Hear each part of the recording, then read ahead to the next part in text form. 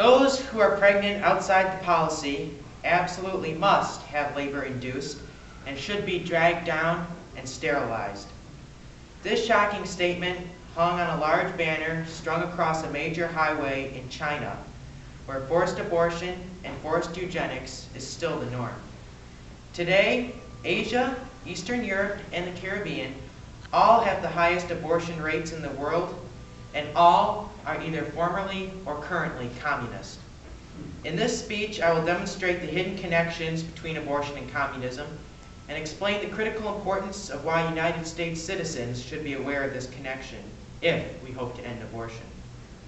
Did you know that one of the most highly used suction abortion machines in America today was originally designed in the Soviet Union by the Bolsheviks?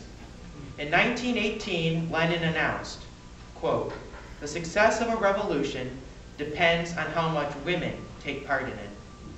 Part of Lenin's agenda was to destroy the family unit so that there would be more women free for the workforce. Abortion would facilitate this end. Shortly after Lenin's proclamation, Soviet Russia in 1920 was the first country to legalize abortion without restriction. Lenin used various elements of propaganda in hopes of establishing communism, first in Russia and then throughout the world.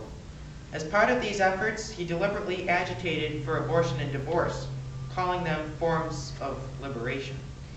All of Lenin's policies and ideas degrade the dignity of men, women, and children, and disregard God's design for human life. Communism is an atheistic, amoral, revolutionary system of belief. It seeks the overthrow of capitalism, a worldwide proletarian revolution and dictatorship, and diminishes human dignity and human life. As such, it can never be compatible with God's plan for man. The state becomes God, and man its servant.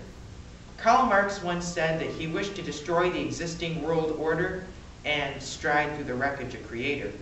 He wanted to create a race of supermen. Similarly, Margaret Sanger, founder of Planned Parenthood, desired an ideal eugenic state and proposed using birth control to create a race of thoroughbreds. She claimed that only 30% of the population was fit for life, and that the other 70% deemed feeble-minded, mental, and moral degenerates, secondary to inferior genes, should be moved to farms, communes, and homesteads, where they would be forcibly confined and prohibited from reproducing. Sanger, who was also a member of the Women's Committee for the New York Socialist Party and founder of a feminist socialist magazine called The Woman Rebel, eagerly awaited the day when the working class would seize control of the United States, communist style.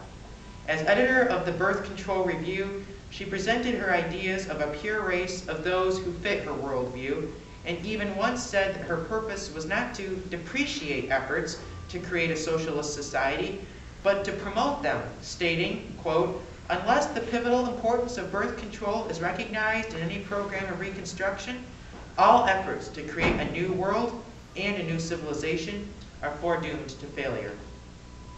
The UN Population Fund claims that they propagate voluntary family planning laws in China, but in reality, many provinces still mandate forced abortions. While the Chinese Communist Party modified its planned birth policy to allow two children, it is just as heinously and rigorously enforced as the previous one-child policy. The tax for an illegal child is currently two to ten times the annual household income. It may take citizens several decades to pay fines as heavy as this. Steven Mosher, president of the Population Research Institute, in testimony before the United States Congress indicated that, quote, the Chinese Communist Party remains firmly in control of fertility as ever. The Chinese state, rather than the Chinese people, decides how many children are to be born in China each year. Signs have been hung in public places and even painted on the exterior walls of houses, supporting the state's family planning policy and threatening dire consequences to those who do not cooperate. According to the signs, such punishments may include imprisonment, property destruction, and the loss of one's house. But why should we be concerned with communism in other countries, and how does it affect abortions in the United States? If abortion is one among many vehicles used by communists to bring out their agenda, then United States citizens have particular reason to be alarmed. First, Lenin's agenda, things like undermining marriage, blurring the lines between male and female, trying to disintegrate the family unit, and commissioning people to drum up cultural agitation to promote a new world order, are all socialistic elements currently identifiable in the United States society today. This is critical to understand. Next, during the 2016 presidential election, one of the major frontrunners was a self-avowed democratic socialist. Yet another once studied the Saul Alinsky method of social agitation and promoted other ideas that would have put the United States on a trajectory towards increased socialistic policies. Godless socialism is linked to abortion. Thus, we must expose the errors of both and eradicate these two evils from our world. As one pro-life advocate said, we must understand that abortion is a crisis of faith and a battle that must be fought first on our knees with prayer and with love. Dr. Martin Luther King once said, whom you would change, you must first love. We must prayerfully humble ourselves to reclaim and reestablish a society based on God's laws, not those of men. By electing God-fearing pro-life candidates who are firmly opposed to socialism, we can help make the United States the moral world leader that it once was. Just as America was the country that brought communism to its knees, let America also be the country that ends the scourge of eugenics and abortion. In the end, there will be victory. If Christ wins, we win, and Christ cannot lose. Thank you. All A little bit more than the skin on our bones. We are so much more than just tissue. God made us all different, but in his image. In Genesis 1.27, it says, So God created mankind in his image. In the image of God, God created them, male and female, he created them. All right, so I'm going to talk about how the embryo grows into something so much more than just tissue. Here's how we all grew up in the first three months. In month one, when life begins, when our egg is fertilized, we become a new, unique person. Between weeks three and four, our heart begins to beat. Arm and leg buds formed, our eyes, ears, nose, and mouth begin to take form. In month two, our brain, cell, or our brain waves could be detected. Our body and blood circulation are well established. All organs were present, and most are already functioning. Fingernails are visible, and we could curl our fingers around an object. We could also hiccup, have taste buds, and tooth buds in our gums. Month three, we could smile, make funny faces. We practiced breathing in amniotic fluid in and out of our lungs. All 20 teeth are, were formed and waiting to develop. Knowing this, I went on a Planned Parenthood website and I looked up how they describe the easy procedure to remove the tissue. In the early months of the pregnancy, it's pretty crazy how they word this horrific murder of an innocent child into seven easy steps. Here are the last three steps of a suction abortion. They insert a thin tube through the cervix of your uterus, then use a small handheld suction, suction device or suction machine to gently remove the tissue. They may also use a small surgical tool called a curette to remove any tissue that's left in your uterus or to check to make sure the uterus is completely empty. By now it's obvious an unborn child is more than just tissue, but I'll continue because abortions continue after three months. Here's how we all grew in the second trimester. In month four, we were about eight inches long, our movements could be felt by our mother, and we could suck our thumb. We had fingerprints. Month five, we weighed about 15 ounces. Hearing was very acute, and we swam around in the amniotic fluid. We had eyebrows. Month six, by now we have gained another pound, our hand coordination has increased, and our eyes have opened. Again, looking at a Planned Parenthood website, it all seems so simple. They describe abortions after 16 weeks in this way. They insert a thin tube through the cervix of your uterus, then they use a combination of medical tools and a suction device to gently take out those pregnancy tissues from your uterus. Those so-called medical tools are actually used to cut up the baby because the parts are too big to remove by suction. Did you know that when it's done, they actually piece the baby back together so they know that all the parts are out? If you don't believe me, just go on YouTube to the live action channel and look at the video Uncovering America's Late Term Abortion Industry and listen for yourself. A woman who was 24 weeks went in to the clinic posing as a potential patient, and here's part of the conversation they had. When asked whether or not it would come out whole, the doctor said, um, it depends. Every case is a little different because the medications we give you will help do different things. Um, but it's more common that it comes out in pieces. We use a combination of suction than the real instruments to literally go in and grab pieces out. When asked if, we, if it was fully developed at 24 weeks, they said, um, it's not fully developed. It doesn't even look like a baby yet. How can somebody lie like that? Not only do babies, do they look like babies at 24 weeks, but they can and do live outside the womb at 24 weeks. I know twins that were 24 weeks when they were born. That's 16 weeks early, and they were less than a pound and a half each, but they're fully functioning adults now. One is my sister Kristen's boyfriend. It breaks my heart that babies that have a heartbeat, can move, and so much more are killed. And it's as easy as paying money to a doctor. Thankfully, it's becoming harder to get an abortion after 27 weeks and six days. Still, I was able to find a clinic in Maryland that does them at 28 weeks for what they call maternal fetal induction. Here's how abortion clinics, just abortionclinics.org describes their abortion procedures after 24 weeks. A D&C will be performed, a blood tip tube is inserted into the uterus. This tube is attached to a suction machine, which is turned on after the uterus has been emptied by gentle suction. A spoon-shaped instrument may be used to determine that the uterus is completely empty. So at month seven, our eyelashes were developing and fat continued to be deposited beneath the skin. Month eight, our irises could dilate and contract in response to light. Sleep and waking were more differentiated towards the end of the month. We weighed about four pounds.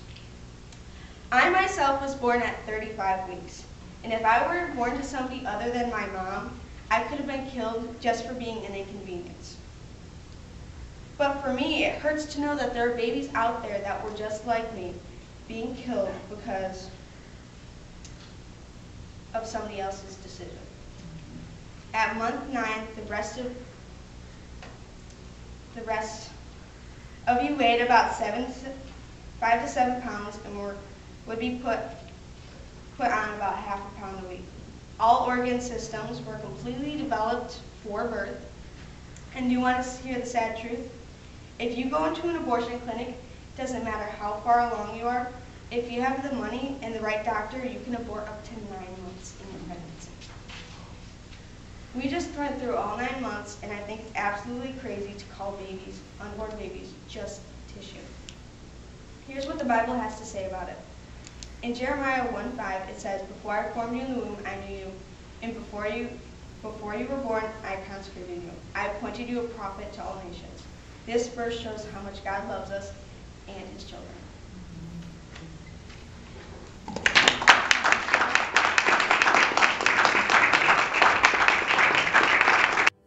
don't work. So why are scientists so persistent on using them? It doesn't make sense. To explain the difference between embryonic stem cells and other types of stem cells. So what is a stem cell? A stem cell is pluripotent. That means it's a cell that hasn't yet formed into a specific cell like a brain cell, heart cell, or a skin cell. Every one of the 210 kinds of tissues in the human body start with a stem cell. Where do researchers get stem cells? Of course, you can find them in human embryos, but you can also find stem cells in umbilical cord, a placenta after birth, bone marrow, blood, fat, skin, liver, and even baby teeth. All the other ways to get stem cells don't harm anyone, but when you get them from embryos, they always die. Where do embryos come from? There are three ways researchers get embryos for stem cell research. One way they get embryos is they get leftover embryos that are frozen from couples that had too many made. They think this is acceptable because they're frozen and no one is using them. Second, they make embryos specifically for the purpose of embryonic stem cell. Third, they were made from cloning by researchers used for stem cell research. So, what kinds of problems have they had using embryonic stem cells? Oh, here's one, they don't work. But more specifically, one problem is that they have to use the medicine for the rest of their life or their body could reject the stem cell. Another problem is uncontrollable moving, twisting, arm flaring, head jerking, and nonstop chewing. This happens when they took fetal brain cells and put them in brains of patients with Parkinson's disease. This was reported in 2001 in the New England Journal of Medicine. Another problem that they had is they could turn into tumors. They tried cloning mice, but the mice were genetically defective, so humans' clones could also be genetically defective. So has anyone ever been cured using embryonic stem cells? No. For over 30 years they tried, and for over 30 years they've failed. Mm-hmm. Even the people who support embryonic stem cell research have to admit that they've helped us do a whole lot of nothing. An mm-hmm. article from the MIT Technology Review from 2016 actually said, and I quote, "No field of biotechnology has promised more and delivered less in the ways of treatments than embryonic stem cells, and only a handful of human studies have ever been carried out without significant results." Okay, so what is the difference between embryonic stem cells and other types of stem cells? These cells are pluripotent like the ones that are taken from embryos. They have the same ability to change into any cell in the human body. They learned how to do this in 2007 and they continued finding better ways to do this. Soon they hope to be able to reprogram any cell into whatever cell they need without using any stem cell. The main difference is that no one needs to die to get adult stem cells and they actually work and have been working for 50 years since 1968 when the first bone marrow transplant was successfully performed. What are some of the other ways stem cells have helped us? In 2013, the Daily Mail reported that treating patients that had cartilage damage using umbilical cord blood stem cell led to uh, 67% improvement in tissue regeneration. In 2013, USA Today talked about a two-year-old girl in South Korea that received an artificial windpipe made from plastic and adult stem cells taken from her own bone marrow. In 2014, Providence Journal in Rhode Island reported on several people whose lives were saved by bone marrow stem cell treatments for their leukemia from bone marrow donors. So, it's all like success, why are scientists still obsessed with using it, destroying embryos? It doesn't make sense. But what if it actually worked? What if they found a way to use them? It would still be wrong. It's never right to take a life to save it. Mm-hmm. affiliates who came out and helped put this together. If it wasn't for us working together, it wouldn't have taken off like it is. So I thank everybody for their help. Okay. Thank you.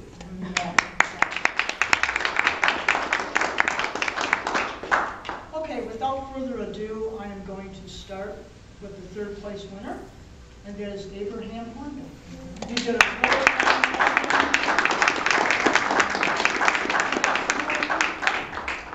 So thank you. Our second place goes to Sarah Hornbeck.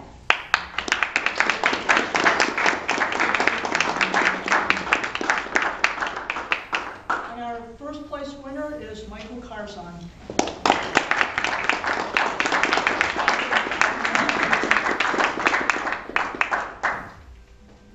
And that inclu- concludes our oratory contest for this year. I hope our Gabriel Richard young lady, Julianne, Julianne, Yeah, he did. can take some good notes and she'll be up here next year.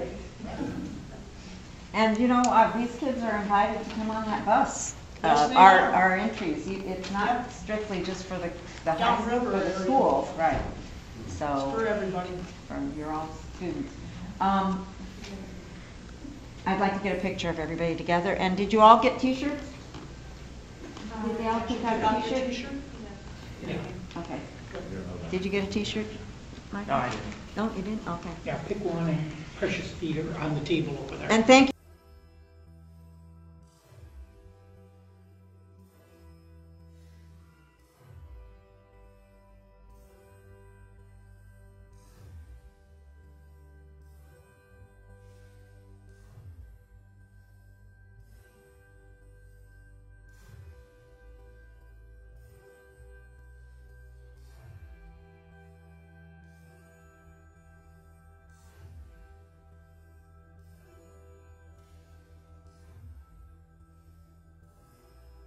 Start with Ed, and he can tell us what's going on, or Debbie can tell us what's going on with hers. Okay. Up or Down River Right to Life has a few things, and you're all, everybody's always welcome to join us. Um, On Mother's Day, we have roses that are made available either through the office or through the different churches that do participate. And then um, we will have our Life Walk fundraiser, which we always do. Um, We'll be walking along Fort Street. Um, We haven't established, we haven't confirmed the date yet, but it will be probably in early June. We're hoping for June 9th. And so we walk up to the Crisis Pregnancy Center and back along Fort Street. Um, It used to be always in, in Wyandotte, around, along Biddle Avenue and Bishop Park, but we thought Fort Street will be much more visible, and last year it was, it was really nice. So um, watch for details if you're interested. Uh, It's a, it's an important fundraiser for us. And then, of course, in the summer, Fourth of July, we're in the parade in Wyandotte. I don't know if there are other parades going on in the summer that other affiliates are in, but that's a big one, and we like to have a big, a good presence. And at the street fair in Wyandotte, um, that's actually run by the Resource Center, and um, I don't know if if all of you have met Angie Maychag, the new manager of the Resource Center, but because that's where we have our meetings and uh, we have, we rent a little office there from Right to Life Michigan, um, uh, we see her a lot. And she's planning um, the display at the street fair in Wyandotte and always needs people to help, you know, if you can do a, a couple of hour shift, that would be awesome. Because it's Wednesday, Thursday, Friday, Saturday, so there's lots, of couple of hours that we need to fill. And uh, she's doing a rummage sale, um, the fundraiser, that fundraiser really helps to pay the rent for the Wayne County Resource Center there on Eureka in Wyandotte. And so if you've got rummage you want to donate, or if you can help with that, that's going to be, it's in May, and I'm not sure of the exact date. I'm sorry, I don't remember. But um, I don't want you, I want you to be aware of it, and just give her a call, and uh, uh, if you can help, or if you're, if you're interested, or know somebody that would like to make donations. Thank you. And Angie's very nice to speak with. Yes. Angie and Oh, she is. communicated back and forth throughout this whole thing. It was a learning curve for both of us with the oratory. Just for those of you who don't know, she is the daughter of Chris McDonald, who ran the Resource Center for almost 20 years. So um, she applied for the job and was hired by Right to Life of Michigan. So um, uh, it's in, it's kind of a family activity there. Rose? Okay, thank you, Debbie. And um, rather than repeat everything that Debbie said, because um, we do a lot of the same activities and we partner with them on a lot of things, just want to invite you to, if you're not already a member of Right to Life somewhere, to join us. We're actually an organization of church representatives, so of all denominations. And we, uh, although we do uh, support the political action of Right to Life of Michigan, we help fundraise for them so that they can help pass pro-life laws. We really try to focus on our churches as well, so that the folks in our pews can hear the kind of information that these young people shared with us this morning, because there's a huge gap in knowledge um, for, for even pro-lifers. They know they're pro-life, but they don't know how to articulate that position. And so there's a lot of education that's needed in the pews, and that's one of the main focuses of Right to Life. So join us, support us, um, you're invited. Last but not least, our gentleman, Joe, president of Southern Down River. One of the things we got going on is, uh, you're not involved with one of the affiliates, is next week, this week, on Wednesday night, seven o'clock, at uh, Legacy Legacy Church, which is right across from Riverview High School. We're having uh, our annual meeting for Southern Downriver Right to Life.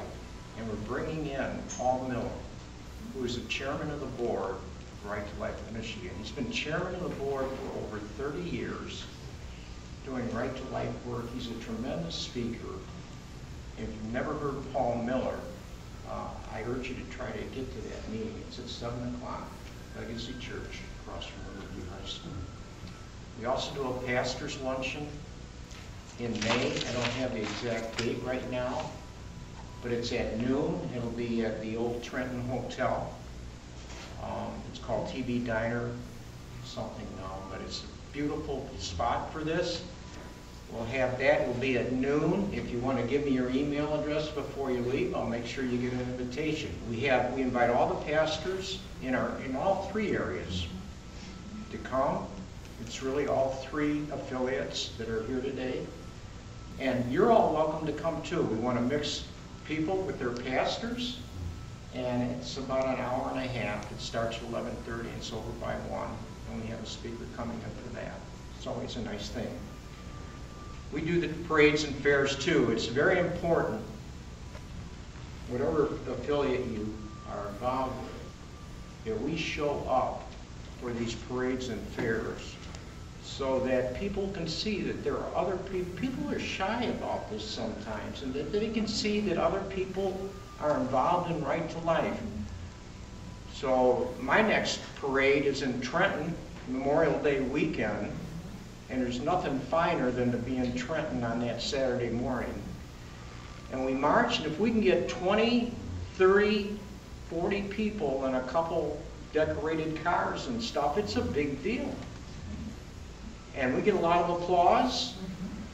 So if you're in Trenton that weekend, that'd be great too. Thank you very much. What about your golf outing? The golf outing is in September, it's September 17th. The golf outing funds our combined bus trip to the March for Life in Washington. We've charged the kids a half price for that. The golf outing finances, that'll be at Roseville Country Club on the 17th of September. We have a young lady I was talking to earlier today that went on the bus trip her to Sharon High School. So she paid half price. It cost us 110 bucks to get somebody on a bus. Charge the adults 110, charge the kids 55. Thank you.